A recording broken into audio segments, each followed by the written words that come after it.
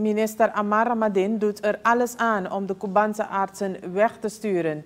Dat zegt dus Edgar Sampi en het gaat dus om de kwestie rond de Cubaanse artsen.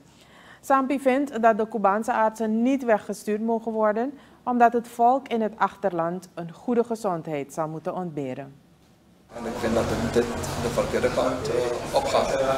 Uh, ik wist uh, de hand te leggen over een brief die in opdracht van de minister is gestuurd naar RGD, Juanica Sirenius en de medische zending.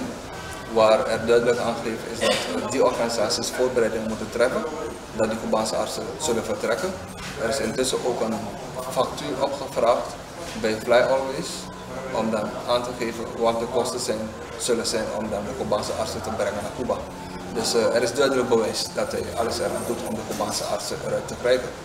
Maar uh, ik, uh, de afgelopen twee weekenden heb ik het binnenland aangedaan, namelijk het Boven Suriname gebied, maar ook zeker ook het Tapanahoe gebied, waar haast in alle dorpen de mensen aangeven dat ze graag willen dat de Cubaanse artsen blijven. Omdat hun aanwezigheid duidelijk te merken is en dat de mensen juist gerustgesteld waren dat de, dat de Cubaanse artsen eenmaal 24 uur uh, bereikbaar waren in de gebieden en dat ze niet uh, het geval van gezondheid met permanente aanwezigheid van de artsen niet missen.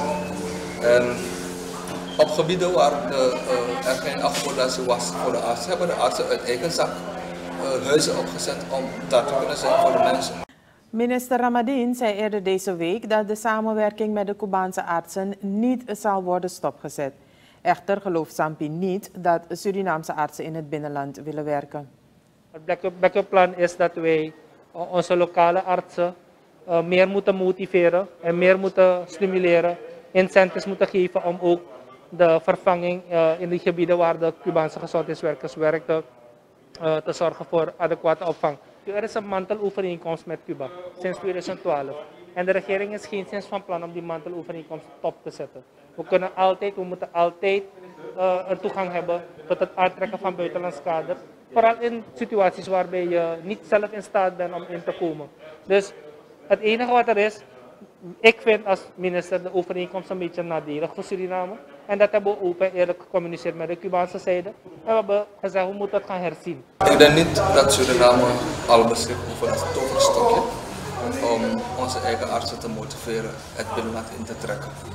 Uh, dat kan ik zeggen, omdat we al jaren zitten met het probleem dat onze eigen artsen die opgeleid zijn om Suriname te helpen, niet graag willen gaan naar het binnenland en als het komt dat ze ziet naar het binnenland moeten gaan, dan vragen ze grote sommen geld voor een consultatie, voor een, uh, een twee dagen bezoek.